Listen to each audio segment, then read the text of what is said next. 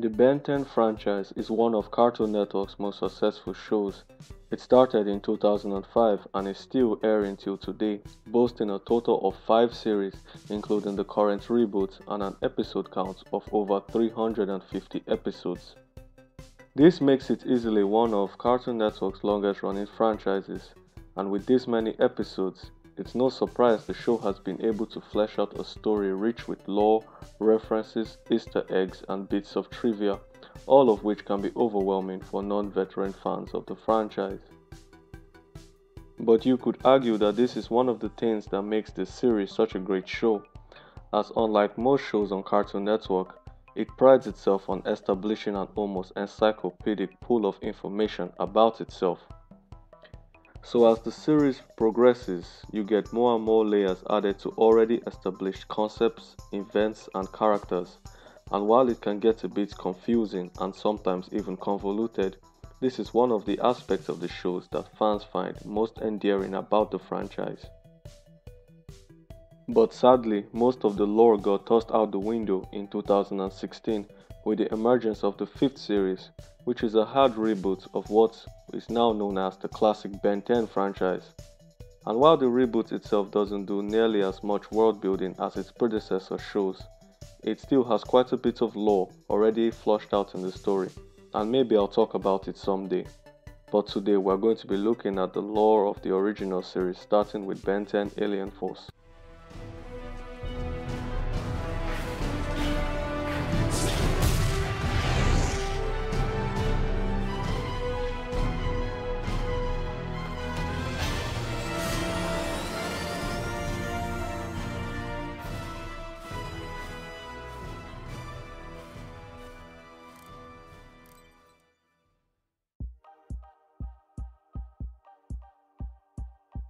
The episode begins with Ben playing soccer and his jersey is a clear homage to his original shirt design he wears in the original franchise.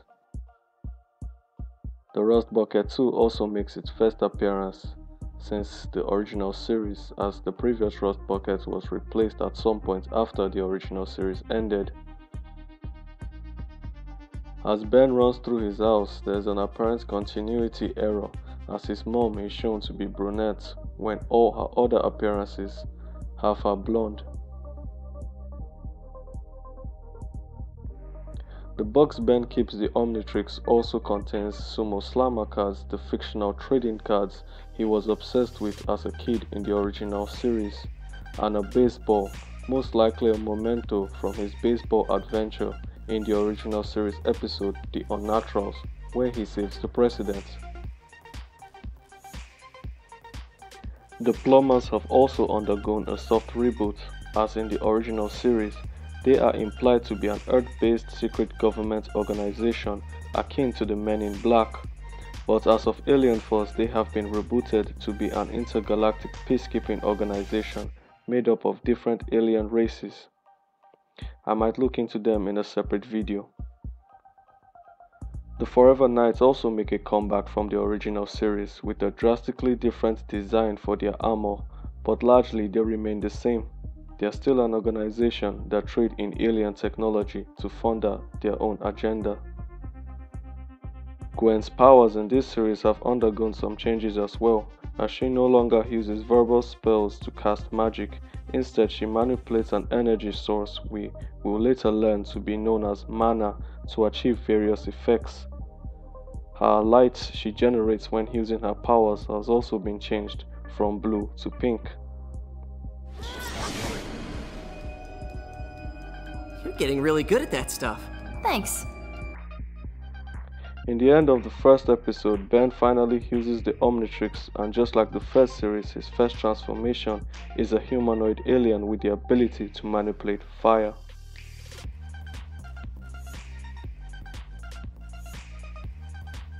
The alien kid Ben meets in this episode is a Pyronite and his visage is made to allude to Heat Blast, complete with the Omnitrix symbol on his chest. The kid who is revealed to be Alan Albright believes his power to turn into a Pyronite comes from his alien ancestry through his father's side of the family. This isn't the case however as we later learn in Omniverse that his power stems from genetic alterations done to him by a rogue set of plumbers calling themselves the Rooters.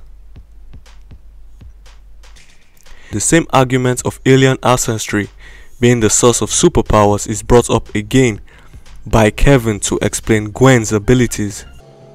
How are we doing this again? Magic. It ain't magic. Oh, right. Kevin says I've got superpowers because of my alien bloodline. Huh? Could you guys concentrate on what's important? You don't think what we're standing on is important? She dismisses this as she believes her powers to come from her practice of magic and nothing more. But they are both right however, as a few episodes later, Gwen is revealed to be an Anodite, an alien creature who is literally made of magic. Later in the episode, we see Ben teach Alan a trick to help him fly better. This is a callback to the original series episode, Monster Weather, where Ben has to stop an out of control weather machine from destroying Chicago.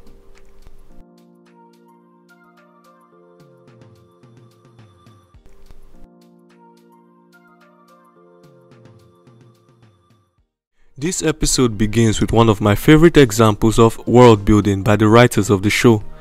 In this scene, Kevin and Argit discuss Octagon Vreedle in a conversation between them, a character who we eventually meet in season 3 of Alien Force and who then goes on to become a recurring character in the classic Ben 10 franchise. Ben and Gwen reminisce about the summer when the original series took place and a picture showing Ben, Gwen and Max is shown. Behind them is the original Rust Bucket. This marks the last appearance of the Rust Bucket in the Ben 10 franchise.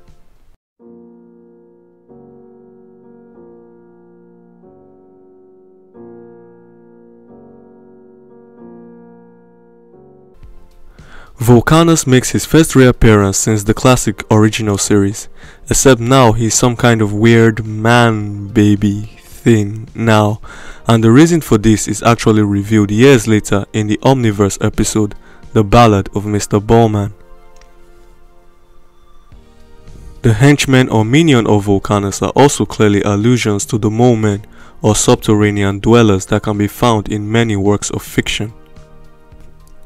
If you liked my video, please leave a like or comment and share my video so others can enjoy. This will also encourage me to make more and I hope to complete the entire Alien Force series if this video does well. Also subscribe so you can get my notifications early. Thank you for watching.